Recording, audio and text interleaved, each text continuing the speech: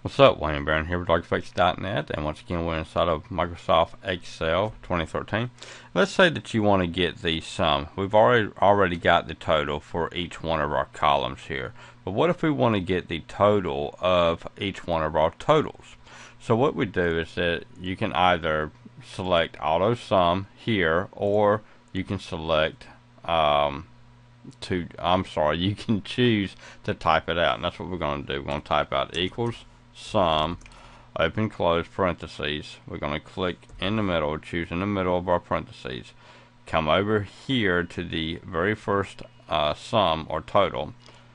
Choose it, then drag over. And what it's going to do is going to say get the sum of B7 colon D7. And you hit enter and it automatically gives us the total sum of these three fields. Alright, Wayne Barron, DarkEffects.net. Have a good one.